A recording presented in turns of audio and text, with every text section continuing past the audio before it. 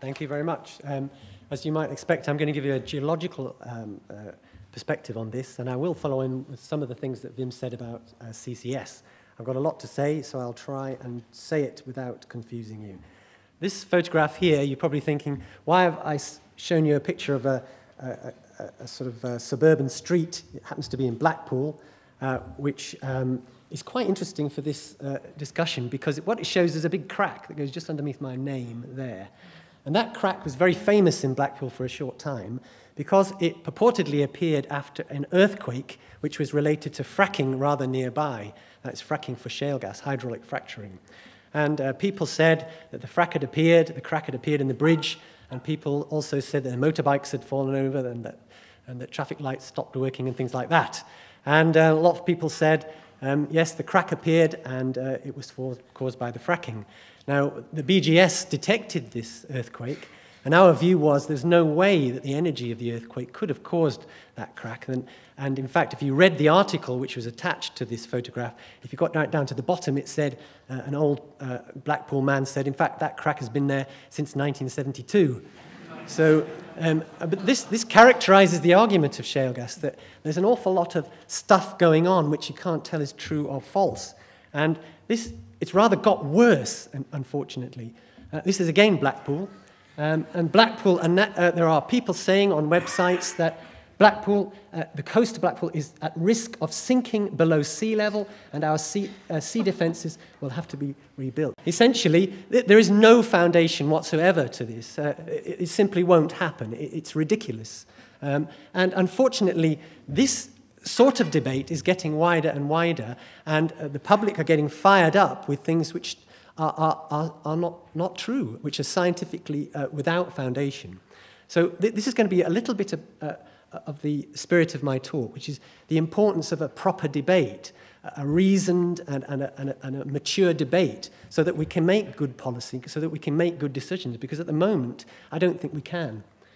So, to a bit of science, I'm sorry to show you a graph so early, but this is a famous graph from um, and Socolow's science paper from 2004. Many of you will have seen this. It's a very clever paper. Some people don't like it now, but at the time it was very good. Because what they did was they took the business as usual, which is the ruinous high uh, CO2 emissions rate, which might uh, end us up with a very high temperature rise, and they also drew a graph of the uh, 500 parts per million stabilization level. So, in other words, uh, a level of how emissions might increase in the future and how uh, they might be stabilized to develop only a 500 parts per million, which would be safe. And then they divided that triangle up, which they called the stabilization triangle, into a series of wedges, which they called stabilization wedges. And these wedges are a bit like uh, a scientific unit of climate abatement, if you like. And what you would do is you take one off, and if you do that, then your problem gets less. If you take two off, then you're getting nearer to your, um, to your um, ideal level. So, what is a wedge? Well, a wedge would be uh, doubling global nuclear power.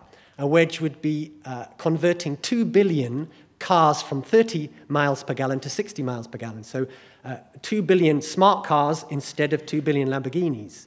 Um, another one is uh, CCS on 800 power stations.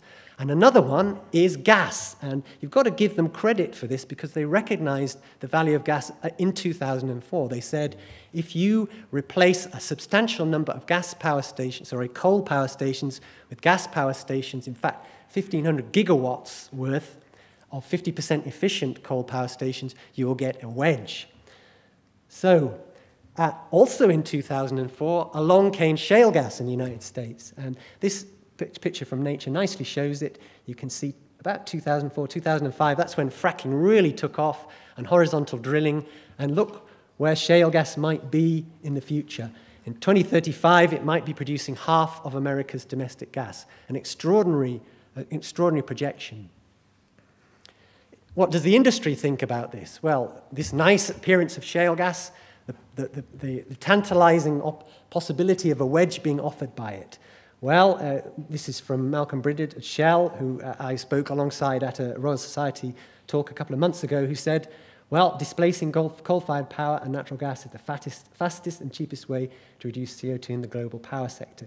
He didn't really go into whether it was with CCS or not. He didn't go into whether it was a bridge to renewables or a, a backbone, as Wim said. So in other words, we take shale gas for a while, and then when renewables are up to power, then we, we dump the shale gas. But it, it wasn't quite clear. So it's not quite sure, clear you know, where we are on that. Of course, carbon capture and storage is incredibly important because without it, it's going to be very difficult to use fossil fuels at all. So let's look at some figures. Now, uh, lamentably, there are very few figures about whether shale gas or natural gas is truly more green than other kinds of gas or other kinds of energy. The modeling and the work, the studies haven't been done in sufficient detail. There is something that was published by the uh, European Commission about a month ago, which was about shale gas in relation to other energy types. And what they said was in Poland, if you in Poland is an extremely dependent, is extremely dependent for its electricity on coal. Something like 90% of its electricity is generated from coal. If Poland converted overnight to shale gas power stations, which you probably would like to do, it would cut its emissions by 41 to 49%, which is a very large cut. So Poland would immediately become a lot greener. But what about the world? Well, essentially, if we take the high gas scenario of the IEA from the golden rules, of, uh, golden rules for a golden age of gas, um, it, it doesn't add up because they say that if you did the high gas use scenario, you'd get 3.5 degrees C percent warming, which is highly dangerous. But of course, gas could be part of a wedge. It doesn't have to be a, a series of wedges, it could be one wedge. But there is a problem, and this is where I'm going to make my pitch to you. There's a real problem with these wedges. I said that there are several wedges that have been described. One, shale gas. Two, nuclear, double, uh, double global nuclear power. Three, 800 uh, CCS operations on 800 power stations. Unfortunately, the public won't have it because all those three things nuclear, uh, shale gas, and CCS all of them have the same problem the same lack of belief amongst the public, and that might feed through to policymakers and investors as well. They worry about it. The earth is scary. People are frightened of earthquakes. Look at this. A Somerset expert reckons that if you do shale gas in the Mendips, it'll turn into a volcano. And people believe it. You know, they, people believe it. And, and this is the quality of the debate that's out there. You know, I'm not saying that shale gas is the answer. I'm not saying that CCS is. I'm not saying that double global nuclear power either is. And, um, but it's, it's a problem because if you, if you want to do these things, they're all geological. And the public, you know, have many, many questions about the, the feasibility and the safety of it. So what am I arguing for? You're well, arguing it in one minute. Yes, naively, I am arguing that science needs to take a stronger role in this particularly independent science, to assess the risk and to do it publicly and transparently and openly and to talk about what's low risk, things we don't have to worry about, like volcanoes and Blackpool disappearing under the, the Irish Sea. High risk things, and there are high risk things, there are things that we should worry about. You know, like um, methane getting into water supplies, for example. These are things we should think about. And, but the trouble is, the debate is we're veering over to these ridiculous things, and we get distracted. And, you know, what matters is the difference between these two things. If we did that, we might get a better quality debate. We might actually get better policy as well. Thanks.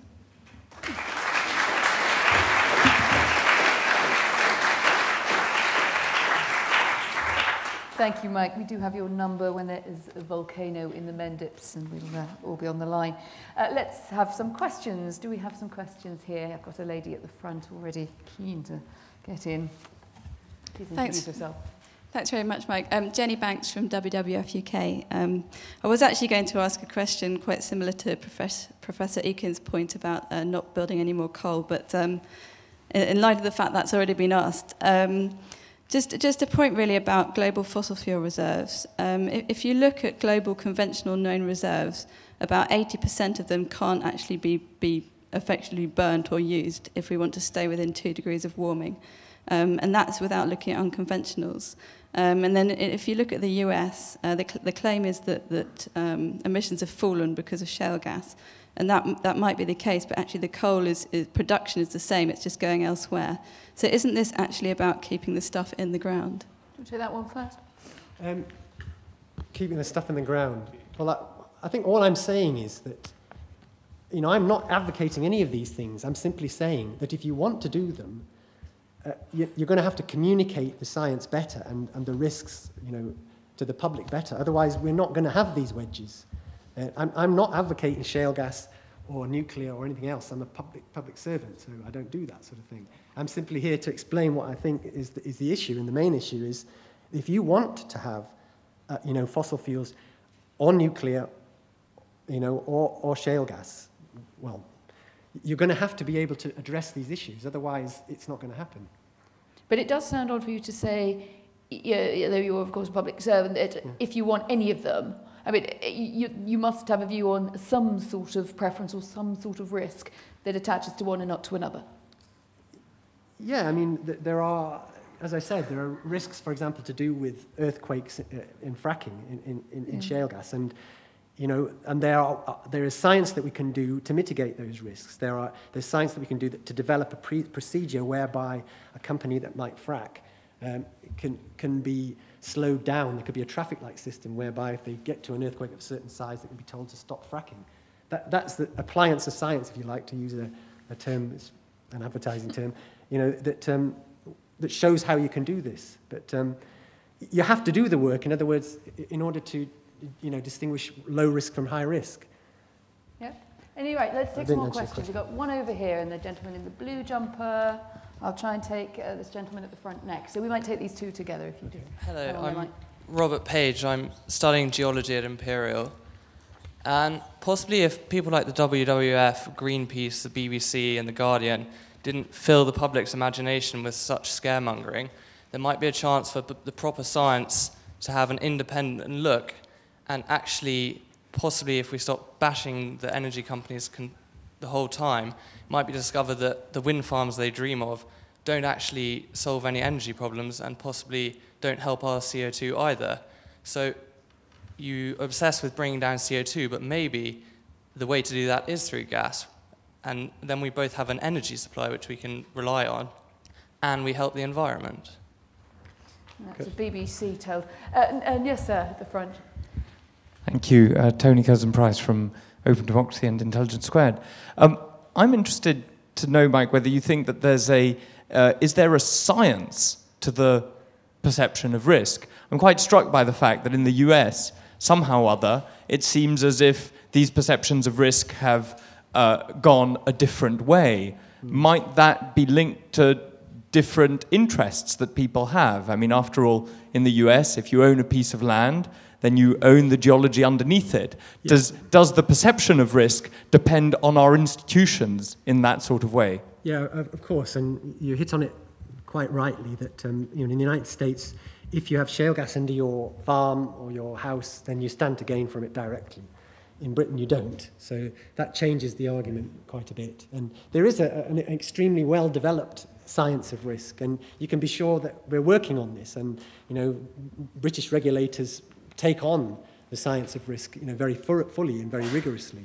Um, but, uh, you know, we've seen this already. We, we know that we have amongst the, the, the best and tightest regulations for offshore gas, uh, offshore oil and gas in, in, in the world. And, you know, generally the North Sea has been extremely successful uh, in, in, in doing that, in, in, in regulating properly and making sure it's safe with a few unfortunate you know, uh, exceptions. But the people of Blackpool don't, don't take that. You know, they, they don't want that. And, and again, I'm not... Uh,